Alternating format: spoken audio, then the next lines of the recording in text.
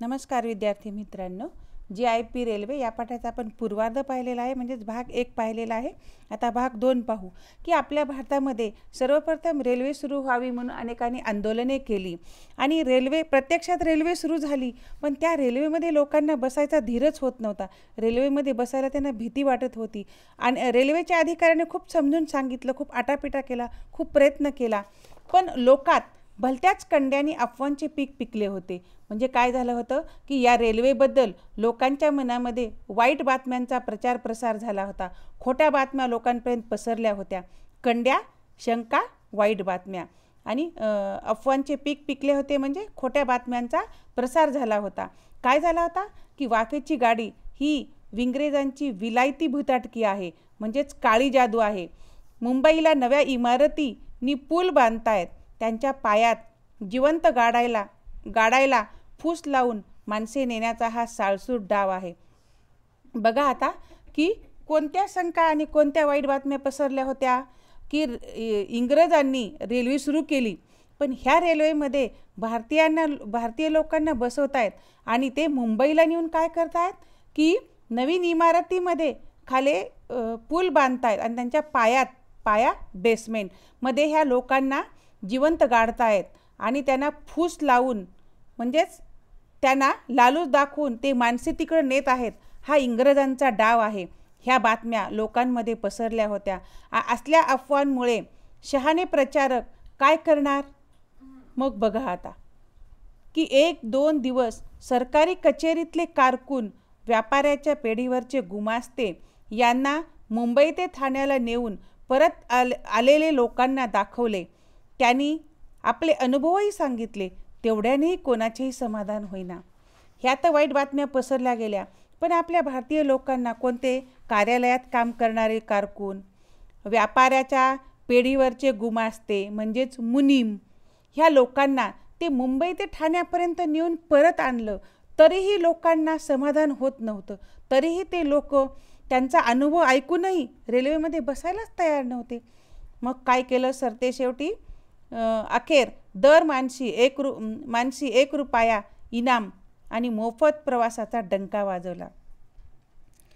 मग पैशाच्या लालूचीने ठाण्याच्या खंडाळीवरचे आणि मुंबईचे लोक आगगाडीने जाऊ लागले का?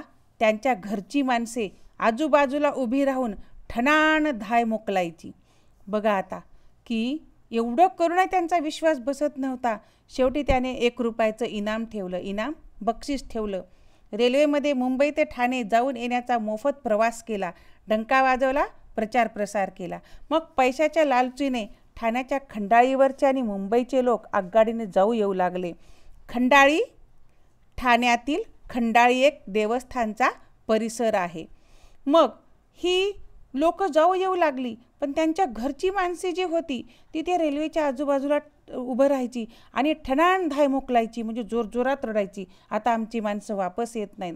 त्यांची समजूत काढता काढता रेल्वेचे अधिकारी अगदी टेकीला यायचे.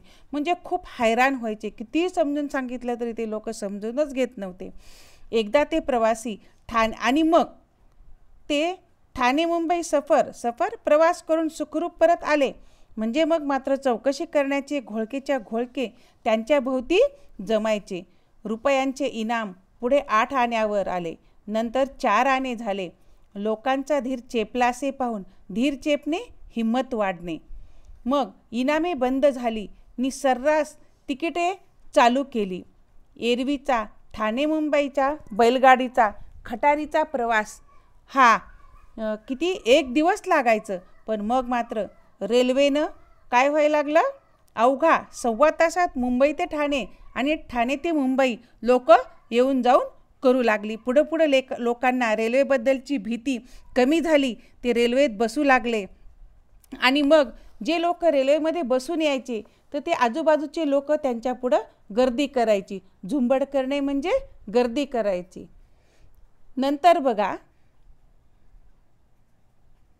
इकडे इंजिनियर लोक कर्जत पळसधरीपासून बोरघाट पोखरणीची योजना ठरवत असतानाच खंडाळ्याहून पुण्यापर्यंतचा सपाटीचा रेल्वे रस्ता सन अठराशे अठ्ठावन्नच्या फेब्रुवारीला पुरा झाला. आता मुंबई ते ठाणे हा एकेरी मार्ग प्रवास सुरू झाला. आता हे लोकांमध्ये धीर हिंमत वाढली रेल्वेमध्ये बसू लागले. म्हणून काय केलं? रेल्वेच्या इंजिनियर लोक इंजिनियर इंजिनियर इंजिनियर अभियंता. मग त्या लोकांनी काय केलं? अजून दुसऱ्या मार्गाने रेल्वे सुरू करण्याचा रस्ता रेल्वे रस्ता त्यांनी तयार केला. कोणता? कर्जत पळसधरीपासून बोरघाट पोखरण्याची योजना ठरवत असतानाच खंडाळ्याहून पुण्यापर्यंतचा सपाटीचा रेल्वे रस्ता अठराशे अठ्ठावन्नमध्ये अठ्ठा अठ्ठावन्नच्या फेब्रुवारीत पुरा झाला म्हणजे पूर्ण झाला. हे काय? कर्जत पळस बोरघाट हे मुंबई पुणे मार्गावरील स्टेश छोटी छोटी स्टेशने आहेत. आणि मग त्याचाही मोठ्या थाटाने ओपनिंग शिरोमणी करण्यात आला. म्हणजेच या घाटामधलाही रेल्वे रस्ता तयार करण्यात आला. त्याचं उद्घाटनही खूप थाटामाटात सुरू करण्यात आलं. ओपनिंग शिरोमणी सुरुवातीचा समारंभ. खंडाळा पुण्याच्या दरम्यान खडकी आणि तळेगाव अशी दोन स्टेशने ठेवण्यात आली. रस्ता एकेरीच होता. हाही रस्ता कसा होता? एकेरीच होता. कर्जत पळसदरी खंडाळी खडगी तळेगाव मुंबई पुणे रेल्वे मार्गावरील स्टेशने. नंतर अशी दोन स्टेशने ठेवण्यात आली आणि रस्ता एकेरीच होता. एकेरी म्हणजे खंडाळा ते पुणे पुणे ते खंडाळा. बोरघाटाचे काम चाललेले असताना बोरघाट म्हणजे खंडाळ्याचा घाट. काम चाललेले असताना मुंबई पुण्याचा रेल्वे प्रवास जारीने चालू झाला. जारीने खूप तयारीने सुरू झाला. पहिलं मुंबई ते ठाणे आता मुंबई ते पुणे रेल्वे प्रवासाची तयारी चालू झाली. कसा? ती मौज आहे का आता. आता तुम्ही म्हणताल मुंबई पुण्याची रेल्वे प्रवास सुरू झाला. कसा झाला? त्याची मजा आहे का गंमत आहे का पुण्याची गाडी खंडाळ्याला आली का सगळ्या पासिंजरांना तेथून?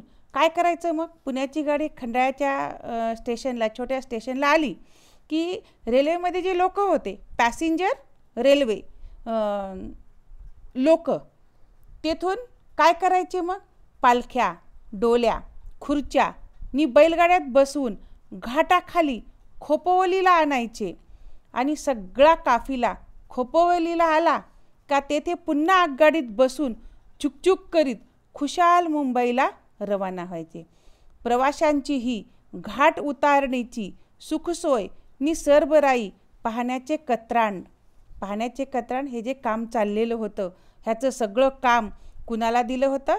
कत्राण कॉन्ट्रॅक्ट ठेका मुंबईच्या करशेटजी जमशेटजी नावाच्या एका व्यापाऱ्याने घेतलेले होते. तर घाट उतारणीचे चार तास धरून पुणे ते मुंबईचा रेल्वे प्रवास अवघ्या अठरा तासात व्हायचा. त्याचेच ज्याला त्याला मोठे नवल वाटायचे. अशा पद्धतीनं ह्या जी आय पी रेल्वे पाठामध्ये आपल्या भारतात रेल्वे प्र सर्वप्रथम कशी तयार झाली? लोकांच्या प्रतिक्रिया समज गैरसमज याचे मजेशीर वर्णन ह्या लेखकानं या पाठामध्ये केलेलं आहे. तुम्ही या पाठाखालचे स्वाध्याय आकृती आकलन कृती सोडवून मला दाखवा. मी तुम्हाला परिच्छेदाच्या आधारे आकृत्या नंतर पाठवेन त्या तुम्ही धडा वाचून मला सोडवून सांगा.